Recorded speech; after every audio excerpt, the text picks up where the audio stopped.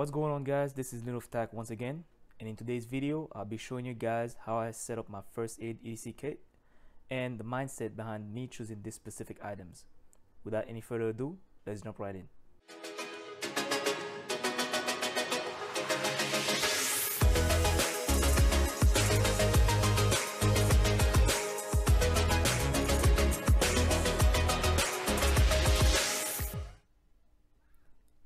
Having a first aid kit or a trauma kit, whatever you want to call it, is very crucial, guys. And also, I cannot put enough emphasis on the importance of taking or having some level of training when it comes to basic level first aid, or even if it's a CPR class. Now, I will put some links in the description box of this video so I can give you guys different organizations out there that might be offering classes in your area. Now, you guys can go ahead and check them out and if you're interested into um, taking some trainings you are you, all you gotta do is go to the websites and then I'll see where in your area they're offering classes. Now majority of the items I have here on the table guys were purchased from a company called North American Rescue and the rest which mostly is the gauze and the bandage and stuff were purchased to uh, different medical companies. Now also I will include in the description box a list a detailed list of all the items that I have laid out on the table as well with that out of the way guys let me go over the content of this kit and the mindset behind me having these specific items Alright, the first item we're gonna go over is a Gen 7 cat tourniquet from North American Rescue. There are several other types and brands on the market. I chose this one because I'm more familiar with it and also um, I've been using this since when I was in the military.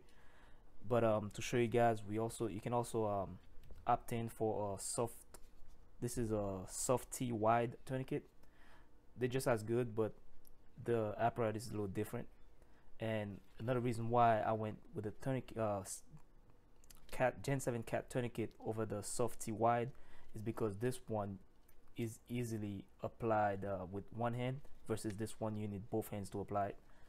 And another thing about these tourniquets, they all tactical combat casualty care certified, also known as TCCC. And for those of you guys who don't know what TCCC is, it's a committee created by the U.S. Department of Defense, and pretty much what they do is um, they um, teach proven life-saving techniques and strategies for providing best trauma care on the battlefield. Basically, when a medical kit or medical item is TCCC certified, it means that it has been officially tested and verified and vetted by uh, that committee. So that's why I went with this one because I know it's reliable. And when I, God forbid, if I have to use it, I don't have to worry about it breaking on me or going bad. Now the next item I'm gonna be talking about is a set of Leatherman Raptor shears. These are made out of uh, high carbon steel, stainless steel. And the reason why I went with these is because of the different features that come with it. Now, these are more expensive than your typical conventional shears, like this one right here from North American Rescue. Right? These, there's not one with these. They work perfectly fine but the reason why I went with these shears instead is because of um, all the different features you get with it as well like for instance you have a seat belt cutter with a oxygen tank wrench. And on this side right here you get a ring cutter back here. And at the bottom you have a carbide hold on let me get this thing to focus a little bit.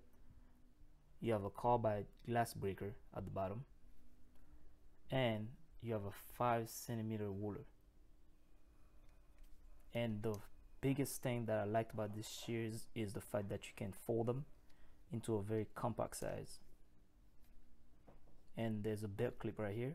You can just slip them in your pocket and carry them without any problem. So that's why I went with these.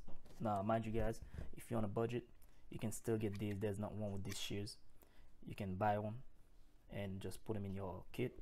But um, me myself the reason why I carry this is because of all the different options that come with it now just by having it I don't have to worry about getting a glass breaker or seatbelt cutter when I'm in the car. So I know I have them there available. Now the next item I have on the list are these compressed gauze from North American Rescue and these QuikClot combat gauze now the difference between these two is that this one is just regular gauze and this one is a hemostatic dressing so if you have any type of arterial bleeding this will speed up the clotting process quicker than um, than this compressed gauze now can the both do the, get the job done? Yes. The difference also the other difference also is that the price. These uh, these are close to about 40 bucks but these are under five bucks.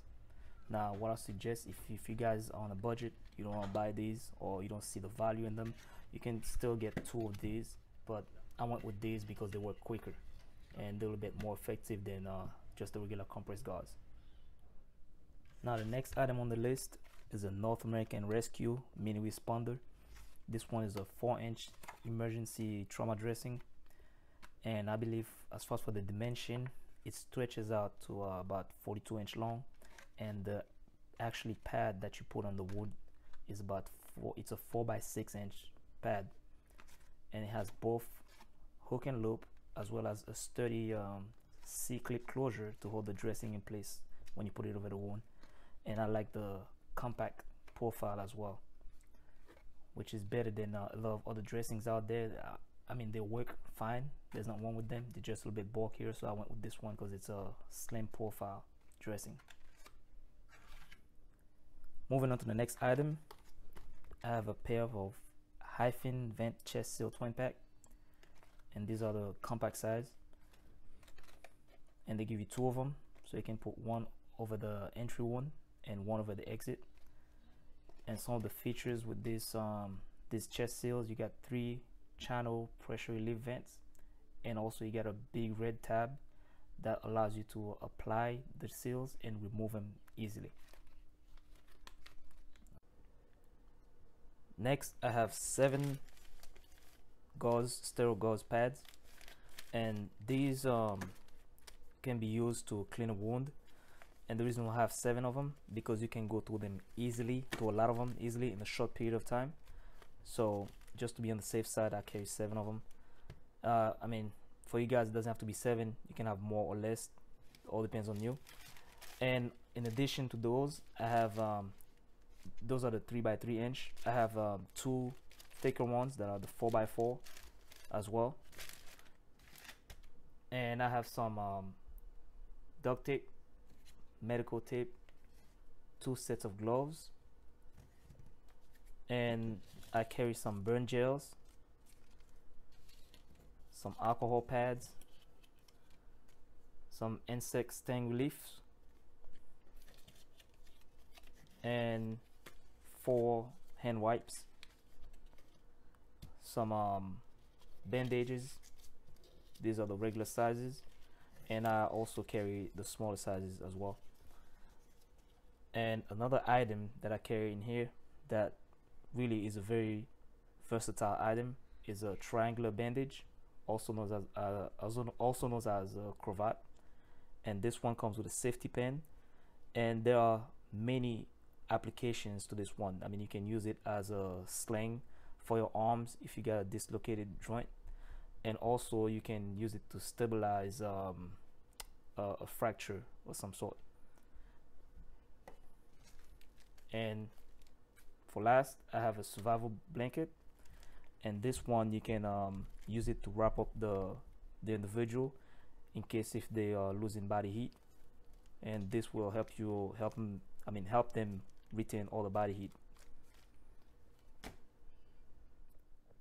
now when I pack everything in a plastic bag this is what it looks like. The reason why I chose to go with the plastic bag instead of a nylon first aid bag is because it's easier to spot all the items.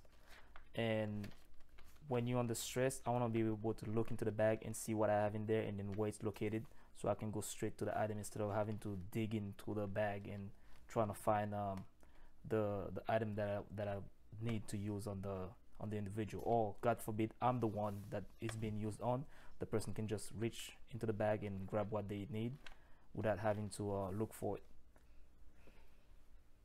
As far as for my philosophy or mindset behind carrying all these items on a daily basis is that I understand that I don't get to pick when I get caught in some kind of emergency situation that would require immediate medical assistance. And if I only have two minutes to stop an arterial bleeding or administer CPR and the ambulance is five minutes away, not having a $30 tourniquet or know the basic knowing the basic CPR skill can mean life or death. I'm not trying to scare you guys, but I'm simply trying to give you the different pers- a different perspective about things that you can encounter while being out and about. This is pretty much it, guys, for today. If you have any questions, suggestions, or comments, just go ahead and leave them in the comment sections. And also, don't forget to check out the description box where I'll put a list of all these items you see here on the table and also some links to a couple organizations that offer classes as far as for first aid, CPR, and uh, stop the bleed classes. Alright guys, this is LinovTac signing out. Until next time, you guys stay safe.